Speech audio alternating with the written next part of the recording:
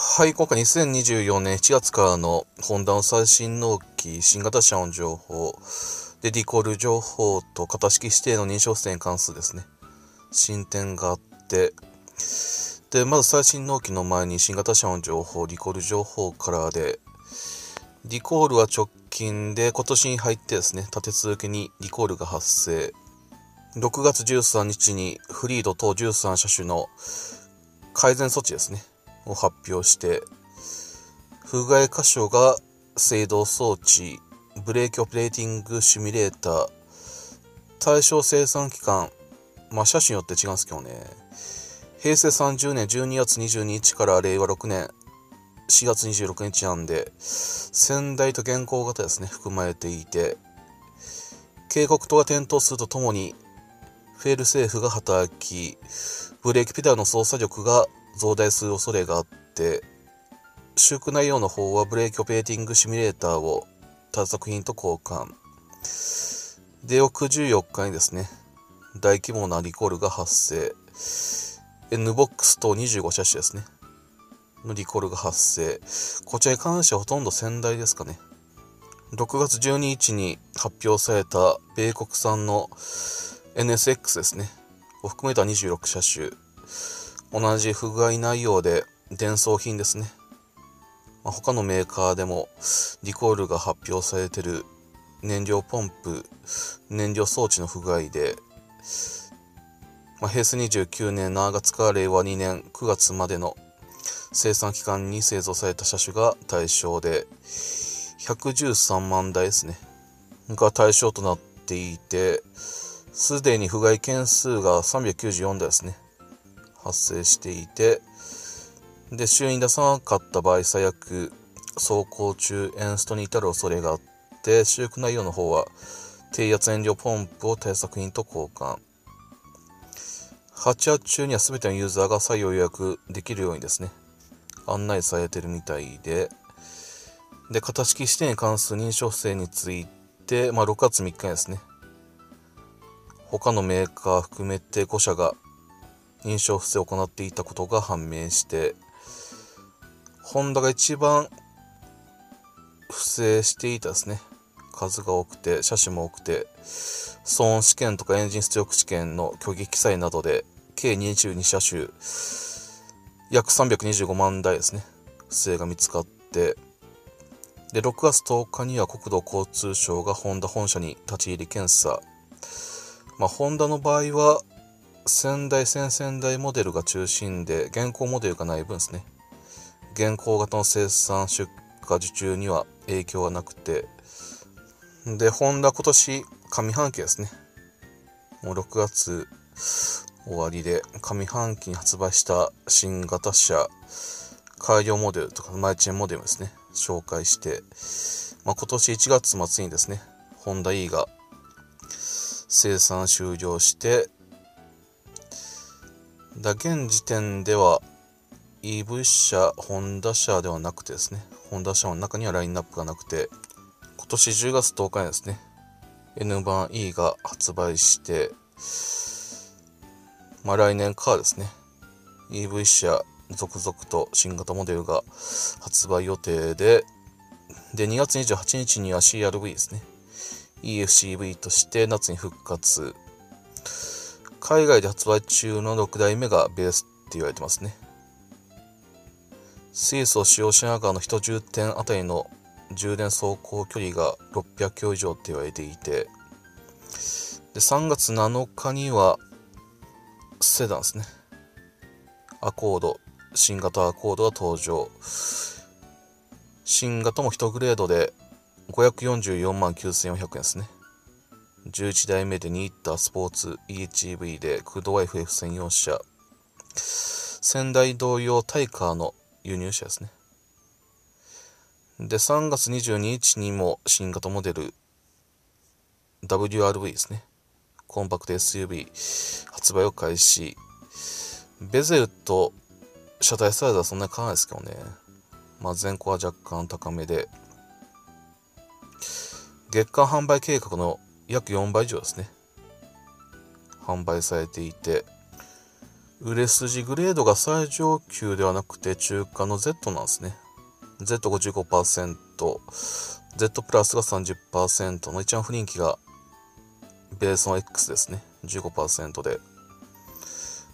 ボディカラー人気順で、プラチナホワイト、クリスタルブラック、メテオロイドグレーで、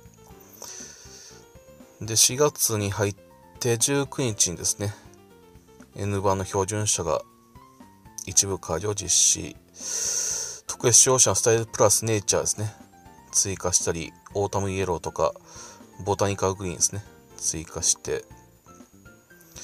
あと4月25日には、コンパクト SUV ですね。ヴェゼルがビッグマイナーチェンジを実施。若干デザインが一新してですね。あと安全面、ホンダセンシングが新機能追加。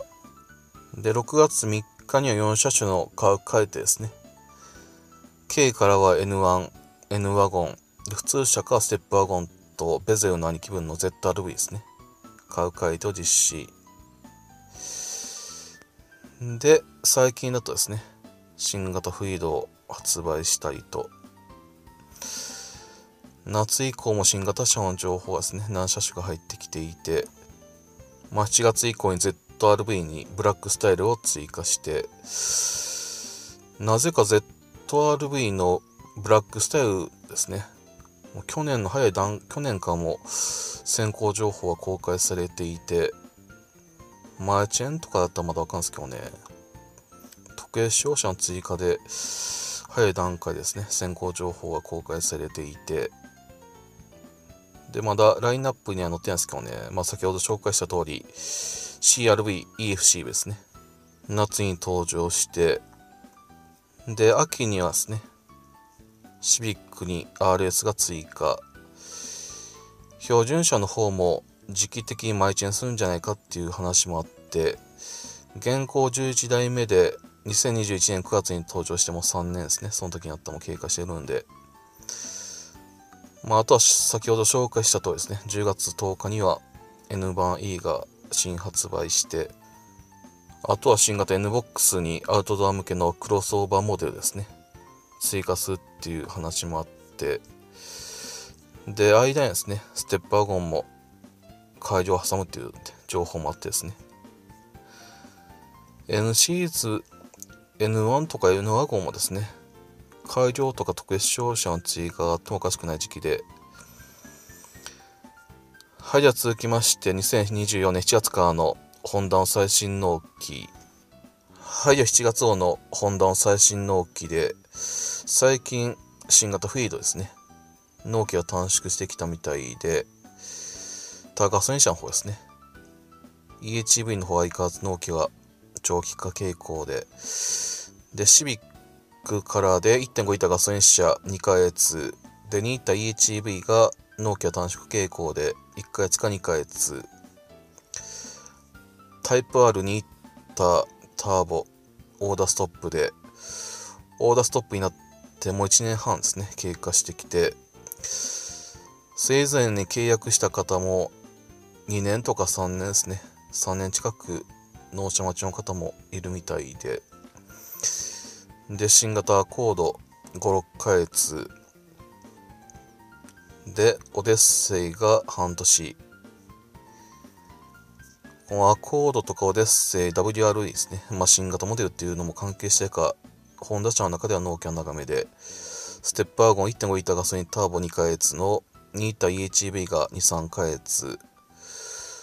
まあ、他のミドルミニバンの納期は短めなんですけどね。まあ、新型ボックシーノアがまだオーダーストップ中で、ミドルミーバンだと日産新型セーナがですね、一番納期は短めで、1ヶ月前後ですよね。で、フリードが、ガソリン車が2ヶ月か5ヶ月、基本的には年内納車が可能みたいで、まあ、店舗によってですね、違ってくるみたいですけどね。で、EHEV が4ヶ月か11ヶ月、納期が長いグレードだとですね、もう来年の4月5月あたりになってくるみたいで、で、一番納期が長いのがですね、クロスターではなくて、エア EX の EHEV みたいですね。で、一番納期が短いのが、まあ、エアですね。で、その次クロスターで、エア EX が一番納期が長くて、ちなみに、標準車、エアに関して6名乗車ですね。7名乗車の方が納期が早くて、そのクロスターの5名乗車が6名乗車かというとあまり納期差がないみたいですけどね。で、意外なのが駆動差がですね、ほぼなくて、2区も4区も同じぐらいの大きさ。まあ、とにかく A や EX、ハビットモデルがですね、納期が長めで、だから EHEV もグレードによってはもう年内納車が可能になってきたみたいですね。納期の方が短縮してきて、今契約しても納期が短い車種やったらもう夏中にはですね、納車されるみたいですけどね。ZRB1.5 リッターガソリンターボ使用開発のニッタ EHV が4ヶ月。ベゼル相変わらず納期短めで1.5リッターガソリン車2ヶ月。4区専用車ですね。で、EHV もほとんど2ヶ月前後で納車されるみたいですね。WRV は1.5リッターガソリン車、ベゼルに加えたですね、納期は長めで5、6ヶ月、2区専用車。で、フィットは1.5リッターガソリン車2ヶ月の1.5リッター EHEV。1ヶ月か2ヶ月。